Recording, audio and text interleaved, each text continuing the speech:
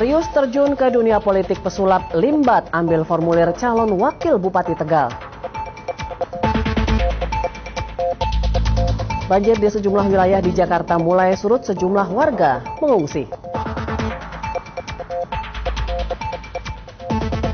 Investigasi Komnas Perlindungan Anak korban maupun pelaku pelecehan seksual di SMA 22 diduga lebih dari satu orang.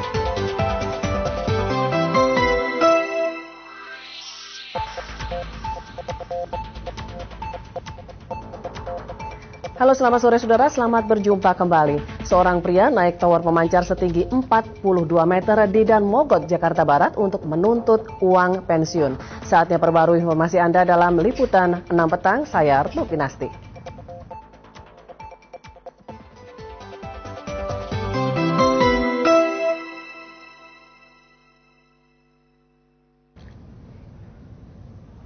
Saudara pesulap Limbat siang tadi mendaftar sebagai calon wakil Bupati Tegal di kantor DPD Golkar. Limbat menyatakan ia diusung tiga partai koalisi untuk mendampingi Bupati Tegal incumbent saat ini, Heri Sulistiawan. Pesulap Limbat rupanya tidak sedang main-main ketika menyatakan niat mencalonkan diri sebagai calon wakil Bupati Tegal, Jawa Tengah.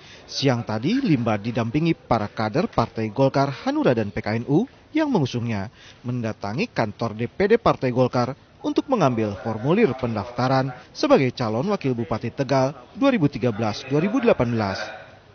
Limbat merupakan calon keempat yang mengambil formulir ke DPD Golkar.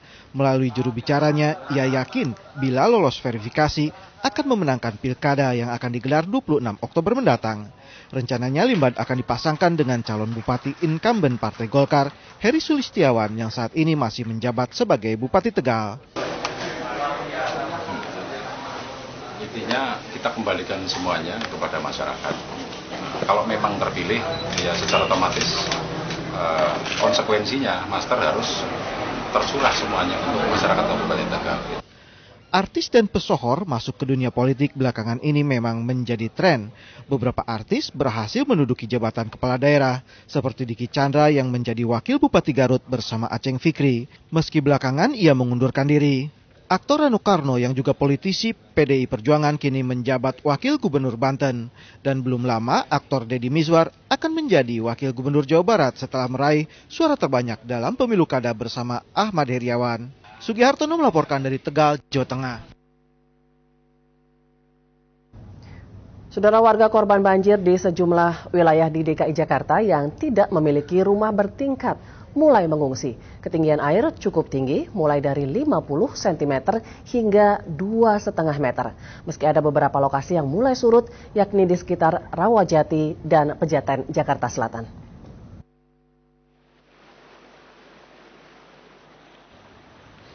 Berjuang melawan banjir menjadi tantangan sendiri bagi warga Bukit Duri, Jakarta Selatan. Para warga korban banjir ini bahkan terpaksa memanjat tembok demi menghindari derasnya arus air.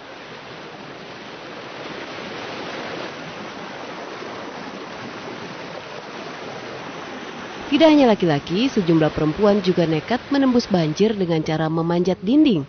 Mereka tidak punya pilihan karena di lokasi banjir memang tidak tersedia perahu karet.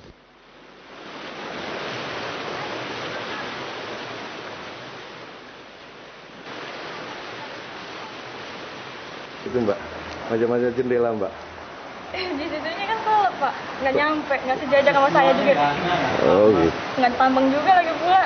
Tapi itu arus emang deras ya mbak ya? Deras banget. Deras banget. Hah? Banjir di kawasan ini cukup tinggi mencapai 2,5 meter. Jangankan anak-anak, orang dewasa pun bisa tenggelam jika nekat menembus banjir. Air yang belum surut akhirnya memaksa sebagian warga mengungsi di kantor kelurahan Bukit Duri. Ada sekitar 150 orang mengungsi di sini. Umumnya mereka adalah warga yang tidak memiliki rumah tingkat. Warga saat ini sangat membutuhkan selimut, diapers, dan makanan untuk bayi. Selain Bukit Duri, wilayah Rawajati dan Pejaten, Jakarta Selatan juga kebanjiran. Namun menjelang sore air mulai surut. Jika pagi tadi mencapai 2,5 meter, kini ketinggian air hanya 1 meteran. Banjir juga menimpa warga Petamburan, Jakarta Pusat. Ketinggian air yang mencapai 50 cm membuat aktivitas warga terganggu. Banjir terjadi akibat meluapnya air di kanal banjir barat dan meluapnya sungai Ciliwung. Aropa Supandi dan Novito Samarta melaporkan dari Jakarta. Banjir saudara juga melanda sejumlah lokasi lain di Jakarta. Kita segera bergabung dengan reporter SCTV Feby Grace yang saat ini berada di Bidara Cina, Jakarta Timur. Ya Feby, bagaimana kondisi di sana hingga sore ini? Ya, Retno dan saudara, saat ini saya masih berada di salah satu wilayah yang terdampak banjir akibat meluapnya Kali Ciliwung sejak dini hari tadi, yaitu tepatnya di RW 11, Kelurahan Bidara Cina, Kecamatan Jatinegara, Jakarta Timur. Dan ketinggian air di wilayah ini masih cukup tinggi, di beberapa titik masih uh, lebih dari satu meter. Namun kondisi ini mas, uh, sudah relatif lebih baik bila dibandingkan dengan tengah hari tadi. Anda mungkin bisa melihat uh, batas tembok yang ada di belakang saya, batas air terlihat bila dibandingkan dengan tengah hari tadi sudah ada penurunan air uh, lebih kurang 100 cm. Walaupun demikian, memang akses untuk keluar masuk perumahan ini masih tetap harus ditempuh dengan menggunakan perahu karet. Dan saudara memang warga yang berada di wilayah ini mencoba untuk beraktivitas normal, mereka tetap bekerja seperti biasa. Tadi pagi juga anak-anak juga bersekolah uh, seperti biasa. Dan sebagian juga masih memang tetap memilih mengungsi di rumah kerabat mereka ataupun keluarga mereka untuk sementara waktu sampai kondisi rumah mereka benar-benar bisa ditinggali seperti biasa. Warga memang terhitung cukup siap menghadapi banjir kali ini karena adanya peringatan dini, yaitu ketika diketahui ketinggian air di Katulampa mencapai 250 cm, ada waktu bagi pemerintah RT maupun RW untuk eh, memperingatkan warga mereka untuk segera mengungsi ataupun memindahkan barang-barang mereka ke lantai dua. Dan sepanjang sore ini kami juga berhasil memantau sejumlah warga yang rumahnya sudah cukup surut airnya mulai melakukan aktivitas bersih-bersih. Mereka mencoba mengeluarkan sisa air yang masih ada di dalam rumah mereka maupun juga mencoba membersihkan perabot-perabot mereka yang sempat terendam air sejak dini hari kemarin. Dan mungkin masih ada de, uh, lumut-lumut ataupun uh, tanah yang tertinggal di perabot mereka dan mereka masih berusaha membersihkannya hingga sore hari ini. Dan bila nanti kondisinya sudah cukup layak, warga bisa meninggali kembali rumah mereka ataupun memindahkan kembali barang-barang mereka di lantai uh, satu. Dan saudara tidak hanya di wilayah Bidara Cina, banjir juga merendam kawasan Bukit Duri, Tebet, Jakarta Selatan yang menyebabkan sejumlah siswa di SMA 8 yaitu salah satu SMA unggulan di Jakarta terpaksa dipulangkan lebih cepat.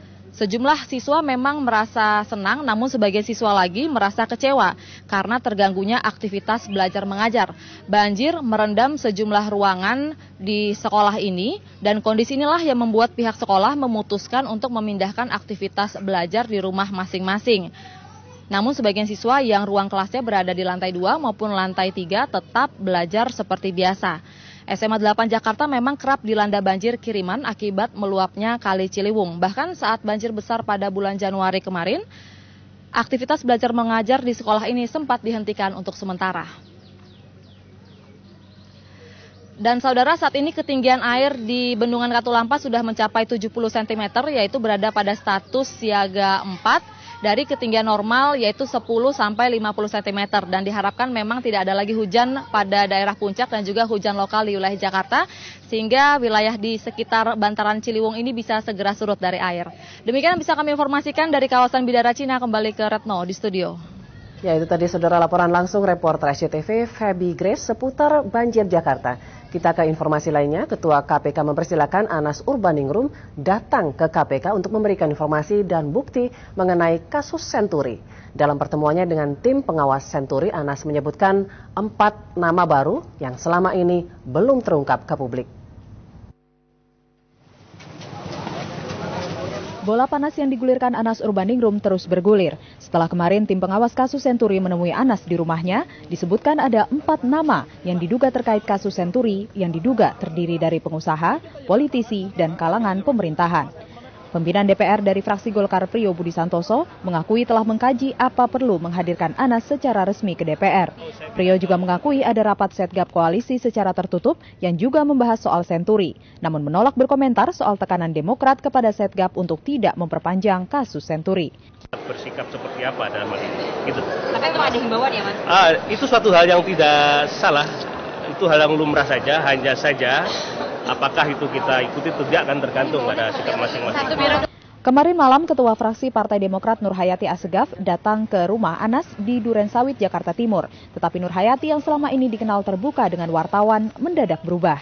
Menghindar dari wartawan, bahkan keluar rumah Anas dengan menumpang sepeda motor milik penjaga.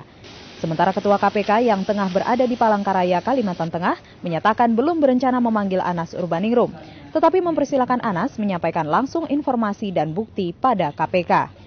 Kalau yang bersangkutan merasa punya bukti kuat, ya kita persilahkan menyampaikan kepada tim Wasenturi, kemudian tim Wasenturi bisa memberikan kepada kita, atau bisa juga Anas bisa langsung datang ke KPK dan saya pikir Anas kan tahu kantor KPK. Kasus Senturi dan dugaan keterlibatan Ibas Yudhoyono dalam kasus Hambalang adalah awal mulanya nyanyian Anas Urbaningrum pasca mundurnya sebagai Ketua Umum Partai Demokrat. Akankah Anas terus membongkar dua skandal besar ini? Desa Pridini, Doni Indradi, dan Ririn Binti melaporkan dari Jakarta dan Palangkaraya, Kalimantan Tengah.